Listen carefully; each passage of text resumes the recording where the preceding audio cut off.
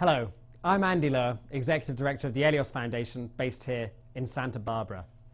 I'd like to take 90 seconds of your time to invite you to an upcoming event that we have on Monday, March the 30th.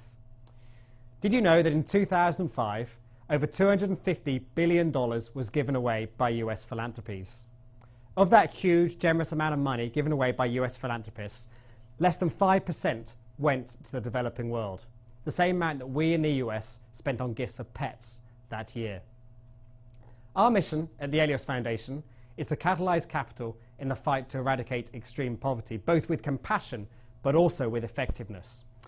In line with that mission, we're delighted to be hosting two of our implementing partners on Monday, March the 30th.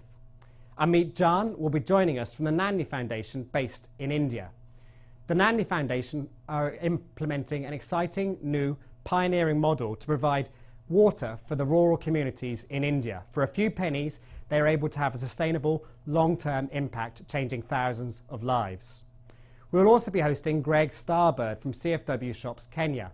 Some of you may have seen the PBS documentary highlighting the fantastic work that CFW Shops do, following a franchise model working in rural communities throughout Africa. Both of these organisations are following market-based solutions in the fight to eradicate extreme poverty. During the 90 seconds that it has taken me to talk to you, over 20 children will have died in the developing world due to lack of clean water or lack of health care. Yet we are all aware of the billions of dollars that have been wasted in international aid. Surely now is the time for us all to be exploring new, pioneering approaches in the world of international development. This event won't be a charity fundraiser. It is purely for educational purposes. But if you're free to join us, I do hope you will do so on Monday, March the 30th. Thank you.